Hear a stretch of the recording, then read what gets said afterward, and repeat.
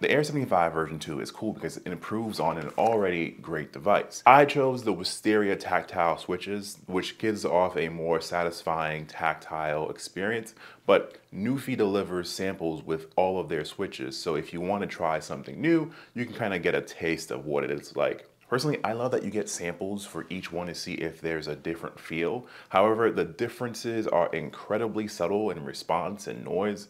The Wisteria to me feels like the perfect in between of all of them. It also has double shot PBT keycaps. The double shot PBT keycaps texture surface is more durable and less likely to fade compared to the less durable shine through keycaps you do have a nice snow versus cloudy sky color when you compare them side by side, with the PBT being more brilliant and really stark white, while the shine through is a little bit more dull. When choosing between each keycap, think about your preferences for backlighting, durability, and feel, or just generally aesthetics. One thing I love about NuPhy is the ability to have different keyboard colors. You have the ionic white, the basalt gray, which is great if you want to be more discreet at work, and I have the lunar gray. So technically I kind of wanted the basalt white, but they're out of it, so I had to go with the gray. The 84 keys Air 75 lacks a number pad, which is why it's called 75, because it has 75% keyboard,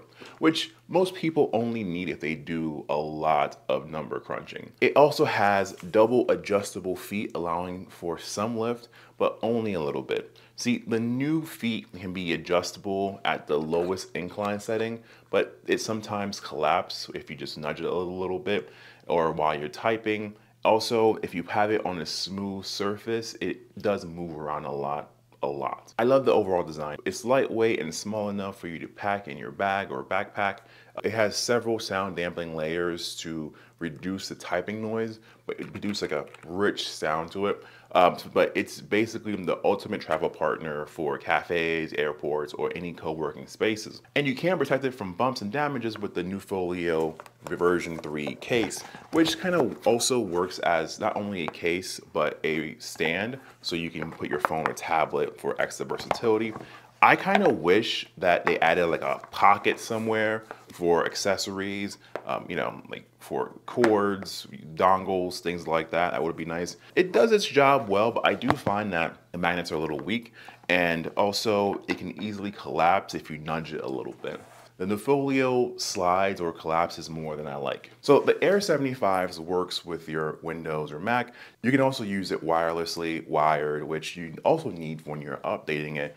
And you'll need an adapter if you're using an all USB-C device as not only does the wire, but the dongle is also USB-A. Side indicators. This, the left side light shows you if the cap locks is on and what connection mode. So for example, if you're switching to the first, second, or third device, and it will turn green when you're connecting to your fourth device, which is used with the actual dongle. Let's see, FN and four. The right sideline does show battery mode as well as the system mode. I wish it was more gradual. Yeah, you see right here, it's like it's orange. So therefore, it's anywhere from I think 80 to 10%. But I wish there was kind of more to it, you know? And you can also customize the side light effects and colors using key combinations. The keyboard lasts about around three to four days if you have the lights just blasting with full brightness and of course constant use. You can turn it off, lower it, or use reactive lights for it to last a little longer. Or you can actually put it on sleep mode, which is an option. It turns off the backlight after a few minutes and puts it in a low power state after inactivity. With that, it's been about two, three weeks where I haven't really needed to charge it. And so that's definitely been a great option. So but why would you even lower your battery life for backlighting? The keys are visible in dark rooms because of the backlighting. It's also great for late night gaming, um, working in dim offices, or using it as a home theater, or using it in a home theater. You can also use the QMK VIA. It lets you use macros, shortcuts to kind of automate or simplify your work and adjust the light color. So for, for example, you can make the main color white, which is kind of more of like a light blue or like greenish. Um, tint, it's not pure white. You can also use it to map game controls or macros for complicated in-game actions, reprogramming keys and creating macros. It's just overall a great advantage for coding and bringing efficiency to that.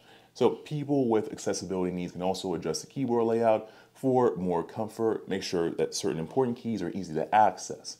You can also have different layouts to use those macros on so you can code more and save some time. I would like the whole QMK VIA process to be a little bit more straightforward. You'll need to download a bunch of files to get everything running smoothly. How about some in-house software that's super user-friendly? I mean, something like the Logitech Logi Options Plus, which is very simple, easy to navigate, and there's no need to bother with multiple downloads. It would save people like my mom and me from a lot of setup headaches. But still, the new Air 75 is a solid choice if you're into mechanical keyboards. It's got style, it's versatile, and it's got a bunch of standout features. But what about you? Are you tempted to try it? Or do you have another favorite mechanical keyboard? Drop your thoughts in the comment section below. And if you have any questions or need tips for setting it up, let me know I'm here to help.